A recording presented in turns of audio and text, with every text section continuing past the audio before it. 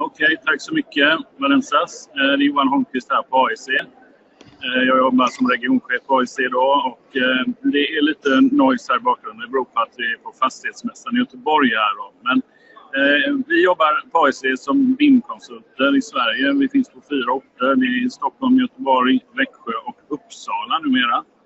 Vi är återförsäljare av Autodesk och och produktserie i Sverige. Då. Och eh, det är Valensas Valsevius idag från Agacad som kommer att hålla det här webbinariet som handlar om pelare och balkar i Revit. Då, eh, som blir betydligt mycket enklare att hantera med eh, eh de här produkterna från Agakall som vi kommer att visa idag. Då. Eh, ja, eh, är det några frågor efter webbinariet så får ni jättegärna kontakta mig då som är liksom kontakt kring just Agakall-biten på AIC.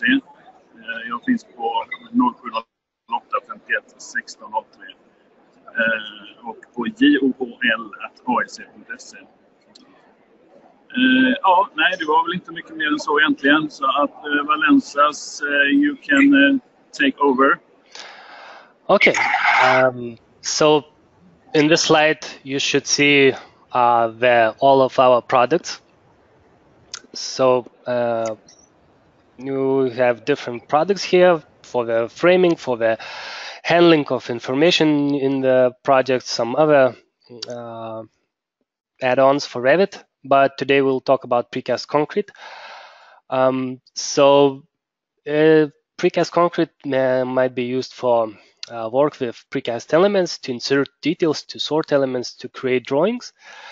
And uh, inside of a precast concrete, we have five tools. So one is for the floor, uh, prefab uh, floor elements, slabs to create, to lay, make the layout.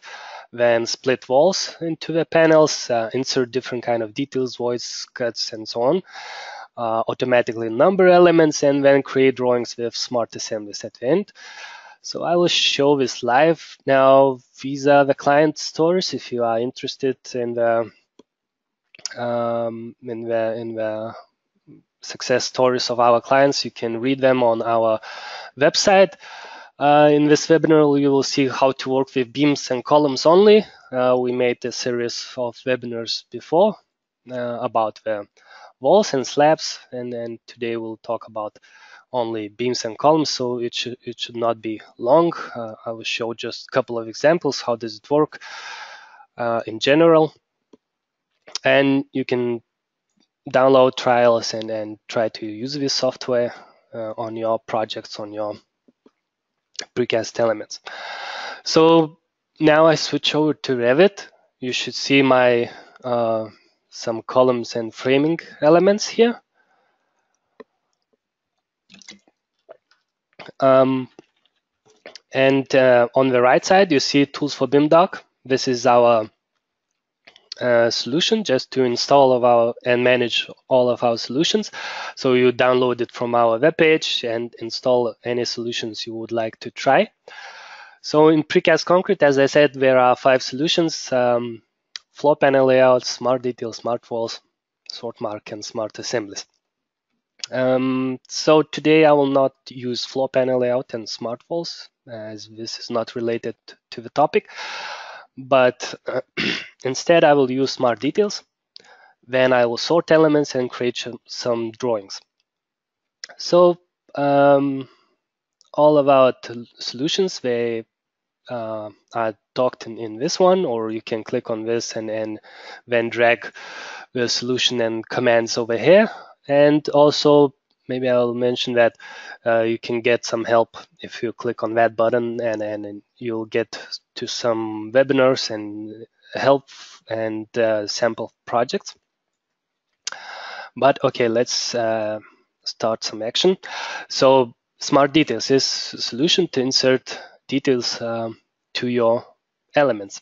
So to use smart details, you need to prepare configurations. If I will open configuration window, um, let's see how does it look, and I will just make some notes about it. Mm. Okay, this is the configuration window for Smart Details. Smart Details could be used with these categories of elements. Today we will talk about framing elements. So uh, let's say I will switch to this one. And here in these tabs, you define how to place line-based or point-based details. Uh, let's say in this example, you see uh, I choose to insert, let's say I want to insert some detail on the top face of my uh, structural framing element.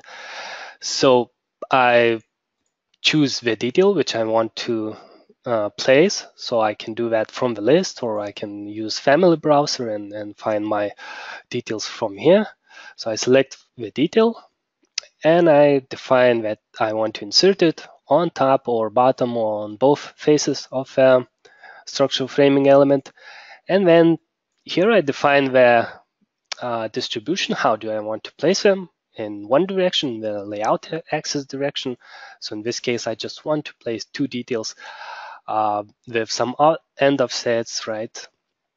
From start and the end. So I will have placed just two details here. Um, and in other direction, as you see in the picture, I can distribute them in other direction. Also, I want to place it just in the center of a face of a structural framing element. Um, over here, again, another uh, family in, in next step will be placed also on the top and just in the center of my uh, top face. So I can insert as many details as I want. It could be point-based details. It could be line-based details. Um, let's say maybe over here I can show some examples, let's say, of more options. Um, like it could look like this, right? I can have as many details as I want in each of the tabs. So it depends on my what do I need? Um, okay, so let's see how does it work. Uh, I select the element.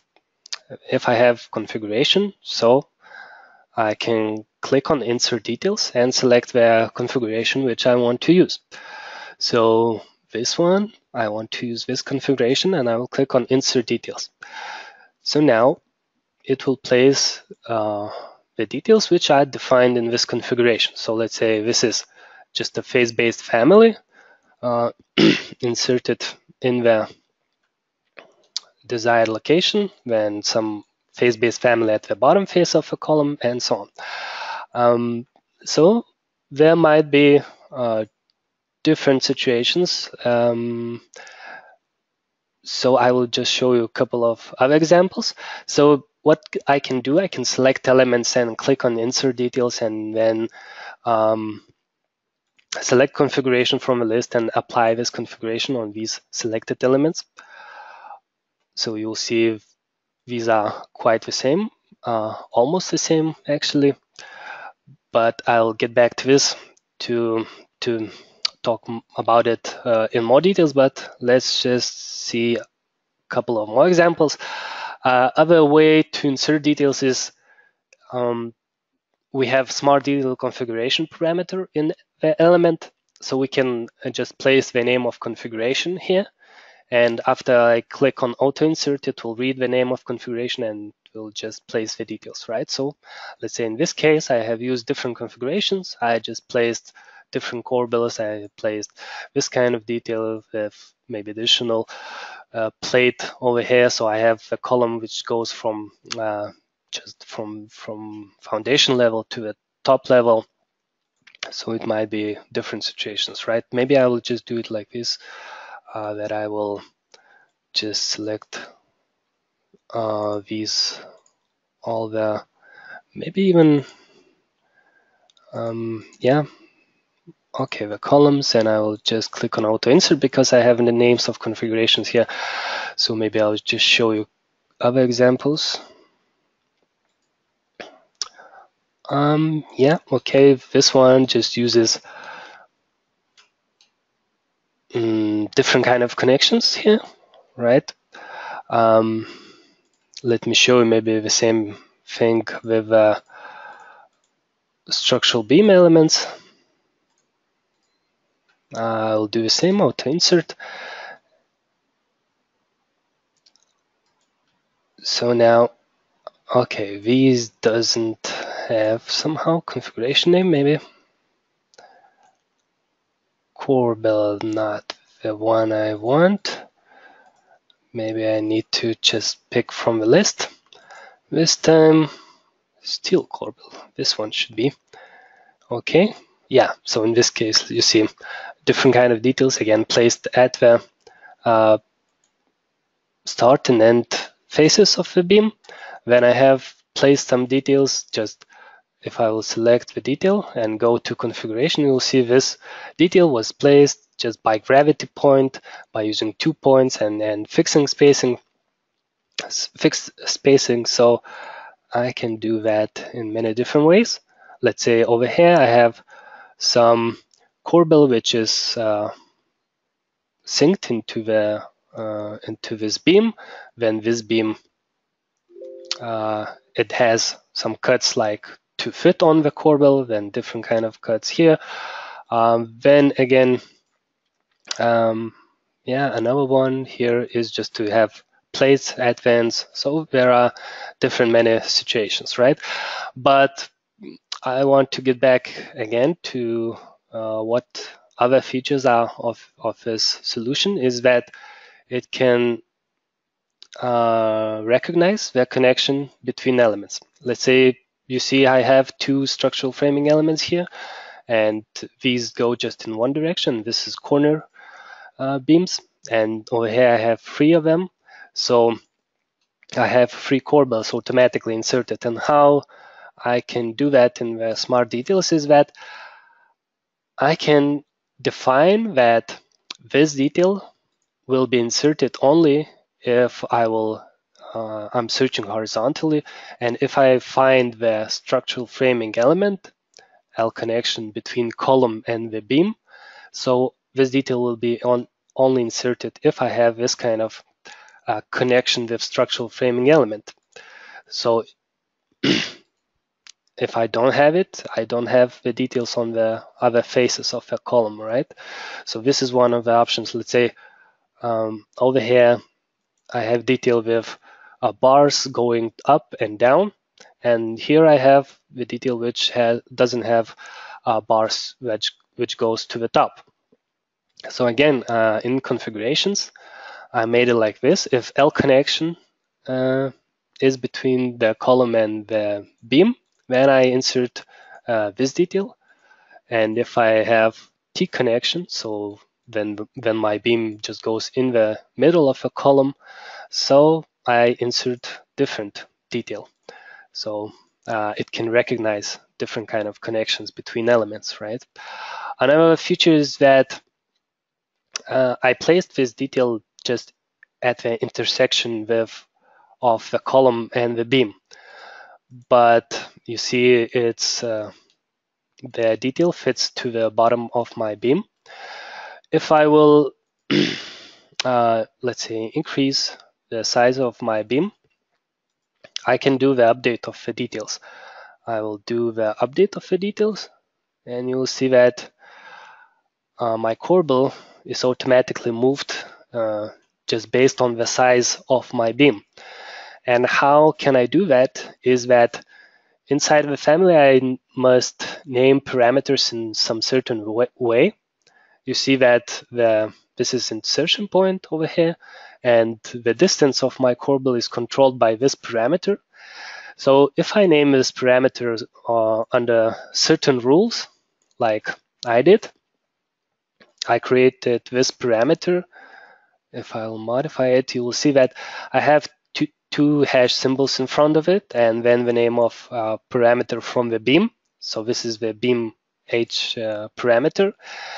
And um, if I use double hash symbols in front, then I make it as an instance parameter and I group it under construction. Then during the insert, um, smart details will read h parameter from this beam. You see, we have h parameter in this beam. It will read this parameter and it will change this, uh, the name of, not the name, but the value of this parameter inside my family. So it can automatically adjust to the changes of the beam. And I can use this in, in, in many different ways. Okay, I don't see that this beam has any. Um, okay. I will place some details here also. So we will see that, let's say this void, uh, it cuts through the full height of the beam, but it, it also has this h parameter. It's just the difference that uh, it has one hash symbol and it's under model properties. So it just um, a feature how you can, you know, take information from your elements and make quick adoption to the changes, uh, do the update, do the modify things which you need overall when you are working in your projects. Okay, maybe. Um, so this is kind of important features of smart details, but let's move over and um, switch over to a sort mark.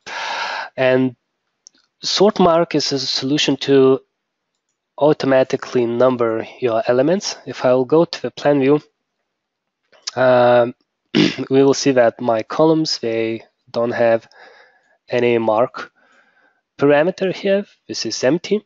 So what can I do is to use sort mark. Um, I can do that for selected elements or just for the whole category. So I will click on element numbering. From this uh, one, I will select structural columns. I'll click on OK, and then I need to select where do I want to write my information. So this time I want to write information into the mark parameter, so I'll click on OK. And here I can prepare configurations. How do I want to number my uh, columns? So do I want to group them somehow? Uh, maybe I will just give it a, new name.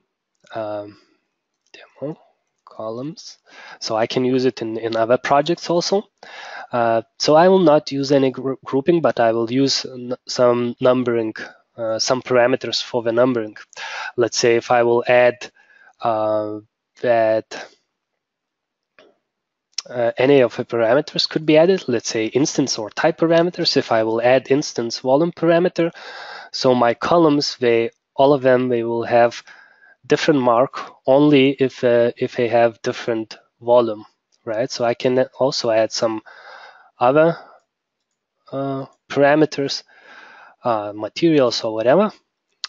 Then subnumbering, additional number could be added also. Uh, sorting, how to sort it. So I can sort it by, let's say, level, name, or um, any other parameters or also by element position. Um, then in the end, uh, at the sort mark, I need to add well, what kind of information I want to write to this parameter. So maybe I want to write volume information to the mark parameter if I want to write, or just the calculated value. Okay, maybe I will just remove volume information. So I will add only calculated value so I will start from one prefix. Maybe I want to add some prefix here. Um, and I will click on OK. So now all of my structural columns are automatically numbered. So some of them, of course, will have uh, duplicate mark values because uh, they are they have the same uh, volume and the same length probably. So uh, I will have something same, but if I want to, let's say I can select only the elements which I want. Let's say structural columns again. I will filter them, but this time I will go to the mark again. But this time I would like to uh, just add some different name and I will use numbering, let's say ID. So all of my columns will have different mark. Then I will sort them based on the x uh, coordinate. And I will add only number. Okay just a prefix um, I don't know um, just change it a little bit and click on OK So you see now they are numbering in this direction. So because my x direction is in, in that uh, in that direction. So in global coordinates, so this is one, two, three, four, five, six, seven, eight, and I can get some kind of um, numbering, right, which I want. So I can do the same with other elements like beams, um, walls, or whatever I have in my project. So maybe I'll do that for the beams actually. Let's uh, use structural framing elements and element numbering and I'll do that for the mark because I need mark values to create assemblies. Um, okay, I'll just create maybe new one. Numbering again, instance ID, and I will just use the number and PIM. Okay. okay, so now when I'm done with the numbers, I have all the mark values for all of my elements. You see it's a B14 and so on. Uh, I will switch over to Smart Assemblies and now I will create some drawings. So let's see what can we create actually. So I will select, let's say, I don't know, some kind of uh, element, maybe column, and uh, go ahead and click on Create Assemblies and I'll select one of my configurations, uh, this one. So, okay.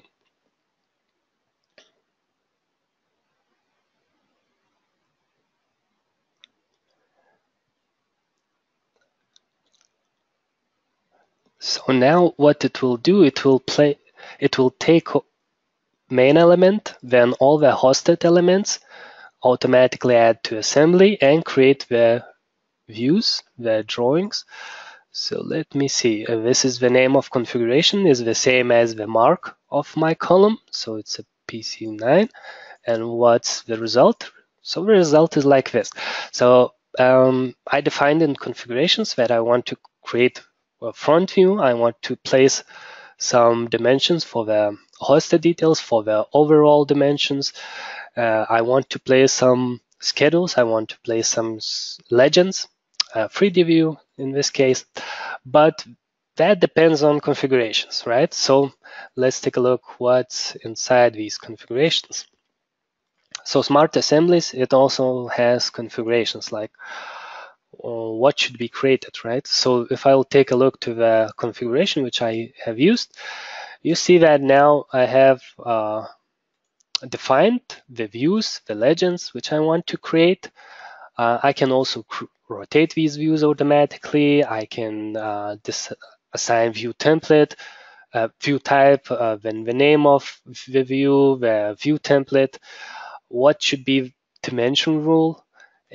Dimension rule uh, defines how to dimension main element, how to dimension cuts, openings in the main element, how to dimension hosted details, metal details, how they should be dimensioned.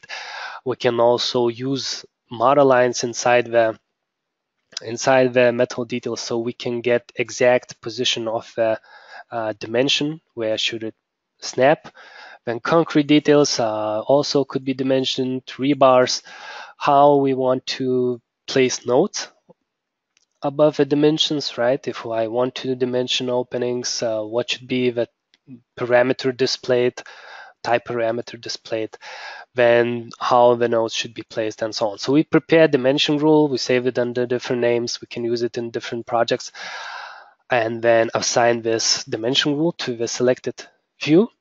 Uh, some tags, options, uh, some to insert gravity point, some additional options to reverse views, rotate views, and so on over here. Uh, we can also create uh, assembly view or model view in the in the place of our assembly. So there are two types of views. Then schedules, we just select what and how many of schedules do we want to create, what uh, schedule template should be applied, and it will be created, and the sheet. So the sheet also could be created. Let's say if I select uh, the column, I create the views, I can select this sheet to be as a template and you see that in the in the this result. I didn't need to, to drag my views on the template. So again, the configurations, how uh, this should be created, uh, how should it look, Maybe very different. Let's say if I'll pick this column and it has some, okay, this column, it, it also has some surface mark in, inside the family. So you can use that also. So I'll just create an assembly of this one. Uh, so just to show you, let's say, how could it be? So I can select one column or two columns. It doesn't matter. It will create two assemblies if I will create, if I select two columns. So it's a bit different than Revit itself. Okay, so the views are created, the dimensions are placed, and then the views are placed on the sheet, just based on the sheet template. How do you want to place them? Okay, so let's take a look now to this one. Um, so this is C3. If I will go to this one, you will see that in this case, I get the horizontal view because I just in, in configurations, I define that I want to rotate this view automatically. Uh, so I have a surface mark. So this view is just selected view, right? So it displays the uh, the view from from the top of this column. At least in the formwork, it should look like this. Uh, some schedules here and some sections in the def defined position, right? I can also move these sections, define how do I want to have it maybe I want to have a section in this position, just uh, modify them to the positions I want, and then I can leave it as it is. Uh, yeah, it should actually remove that. And then I can update and uh, fix the dimensions if needed. So if I'll update, it will modify the changes of section place and so on. So I will get the final result of my column. So maybe I'll just run through a couple of examples how it could be, how could it look. And you can compare this to your workflow, to your current workflow. So you'll see that Smart Assemblies, it has like modify, update functionality, disassemble functionality, change configurations, and so on. So uh, there are many options how to how to modify your uh, assemblies, how to update them if uh, you have some changes. So it's quite, uh, you can follow your project workflow. Okay, um, do I have so mm -hmm, a couple of assemblies in here. Um, so how do I get the uh, sheet templates? How do I get this kind of view automatically? Uh, this kind of sheet automatically. The views are placed in, in some kind of locations, right? So how do I make it? I have the template project. Let me switch over to the template project. Ah, this is my family for column, so I'll close down this one. So this is my uh, template project where I have my assemblies created and then maybe I'll show you just like this that this sheet was created the previous configuration. I placed the views the way I want. Uh, you can make your own decisions. Maybe it should be like this maybe it should be like that. And then you will create assemblies in other in other project, it will place views just like this, like it is in this template project in this sheet. So when you prepare these configurations, uh, it will place automatically everything on the sheet. So maybe I will just show you a couple of examples. Let's say the beam example, right? So I have some uh, cuts here. So I have some uh, dimensioning for them. Uh, I have dimension for the details. I have dimension for the gravity point, total dimensions. So there are many options here okay, some cut over here. So this one is automatic. So I don't need to do anything here for this drawing. So, okay, let's see over here, maybe some other examples of a column, of um, a wall, of a wall with, uh, with um, reinforcement, let's say over here, so we can create as many sheets as we want, uh, whatever we want. And the layout of the drawings, as you see, is very different. It just depends on you. How do you want to do that? right staircase maybe something else uh, sandwich wall uh, double T slab right so okay so these are a couple of examples the possibilities of smart assemblies I don't want to go very deep into that but um, so I just make uh, a pause here because um, I have I see that uh, there's a question here and the question is about if you can apply the same configuration for different sizes of a column. So actually you can apply, but um, it will not fit automatically, right? Uh, it's better when it's the same size because of the sheet size um, and so on. So probably it's just a better workflow to, to do that. Uh, we, uh, if I'll go to shop drawing configurations and dimension rules, uh, we have this tab over here, but uh, we we can't uh, make a split the crop region and then you know just shrink let's say if the beam is too long for the sheet. We cannot shrink it because actually it's not allowed in Revit API for so for us as developers it's not allowed yet because Autodesk is we just didn't do that yet. So but hopefully in the future it will be possible. I don't know. Um, do we have more questions? Um, I think that's it. So um, probably that's what I wanted to show you, just a quick uh, information, how to use it, uh, the possibilities, and it's up to you now. You can take the trial and uh, contact us if you need some help. Uh, yeah, free trial, just um, download these tools for BIMDoc for your version of, uh, um, of your Revit then you can uh, contact us also AEC for the support information. Uh, contact me if uh, necessary if you have some questions and so on. So thank you for your attention and let's keep in touch through the emails and so on. Uh, have a good day and bye bye.